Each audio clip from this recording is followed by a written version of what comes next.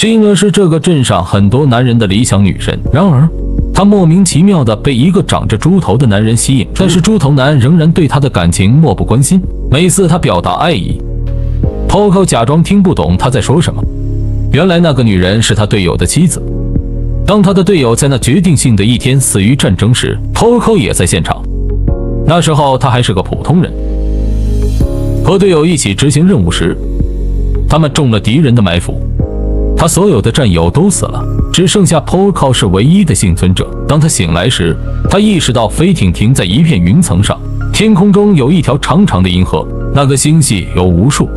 坠毁的飞艇更令人震惊。是他阵亡战友的飞艇所在地，飘向那银色的星系，看似美丽的风景，原来是地狱。这让他完全厌倦了战争。时间流逝，他回到了现实世界，但他已经从一个风度翩翩的飞行，变成一个长着猪头的男人。从那天起，在 Porco 隐居在一个偏僻的小岛上，并成为了一名赏金猎人。多亏了他非凡的飞行技巧，他的名声迅速增长。一天，Porco 收到了一个紧急电，关于一群空中海盗。他突然出现，劫持了一艘游轮。他们不仅偷了相当数量的金币，还抓了一群孩子当人质。尽管在度假 Poco 立即启动了他的红色飞艇，并走向混乱的大海。当游轮上的人发现了 Poco 的到来，他们欢呼着组成了一支箭，指出方向，海盗逃离的地方。然而在那一刻，飞艇突然出现故障，差点掉进海里。飞艇的引擎不停地漏油，但 Poco 时间紧迫，停下来修理它。他一点也不知道，这些孩子拥有强大的战斗力，甚至比他自己的还要强。他们在整个旅途中争吵吵闹，不给空中海盗们片刻安宁。然后 Poco 出现在他的飞艇里，并直接摧毁了飞机的引擎。空中海盗对孩子们的打扰感到沮丧，一击都打不到。波克又一次俯冲，粉碎了飞机的尾部。空中海盗被迫在公海上登陆，并随后举起白旗，表示他们愿意投降。至少，他们终于摆脱了那些麻烦的孩子。Poco 继续消灭了另一队空中海盗，激怒了其他人。作为回应，他们专门雇了一个叫 Curtis 美国飞行员，但是要对付 Poco。尽管柯蒂斯的挑衅，，Poco 连看都没看他一眼。相反，他去修理自己的飞艇。与此同时，空中海盗看到 Poco 对 Curtis 冷漠，决定在地中海袭击女王。他们打算再次激怒 Poco。Poco 出来，他们大喊大叫，但柯蒂斯仍然不为所动。他去了银行，取出他多年积累的积蓄，收拾行李，准备去米兰修理他的飞艇。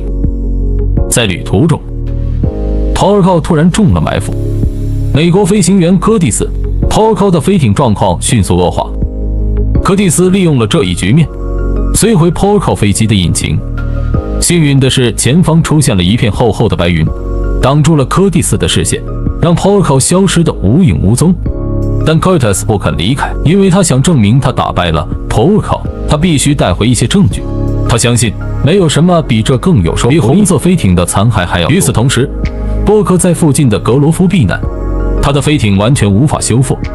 在 Poco 的唐宁成为头条新闻后不久，每个人都在谈论 Poco 的失败。Poco 发现了一艘把他破旧的飞艇运到米兰，他向他的老朋友寻求帮助。让他惊讶的短笛修理店，修理工作委托给一个叫西奥的女孩，短笛的孙女。尽管短笛保证西奥的非凡能力，波克仍然持怀疑态度。西奥。谁无意中听到了他们的谈话？大胆进屋，许下诺言。如果他不能修好飞艇，他不会收一分钱。然后他谈到了 Poco 过去的成就，很明显他是 Poco 的粉丝。最终，Poco 同意让 CEO 修理飞艇。第二天，Poco 来找菲欧，发现他通宵工作，设计一套高质量的机翼蓝图，解决了飞艇以前的缺点。Poco 终于承认了迪欧的能力。但他有一个条件，他又必须保证充足的睡眠。然而，Poco 面临着新的麻烦。招聘维修工人时，只有家庭主妇甚至祖母出现。幸运的是，这些兼职女工被证明是勤奋的，他们的修理工作不称职。安装在飞艇上的新引擎让 Poco 重拾信心，因为他拥有比以前大得多的力量。在空闲时间，波克会见了他以前的同志。传达了一些令人沮丧的消息。Poco 已经成为许多人的目标，想要抓住他，C 也被跟踪了，因为他参与了飞艇的改装。幸好 Poco 的驾驶技术让他摆脱了追兵。无论多么多，神秘的人仍然到达工厂附近。修复工作完成后，Poco 准备立即出发。没想到西又坚持要加入他，声称 Poco 欠他修理费，并且坚决要赔他。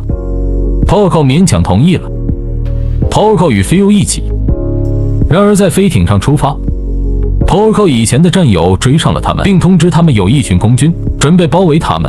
有了这些信息，Poco 成功避开包围圈，并返回地中海。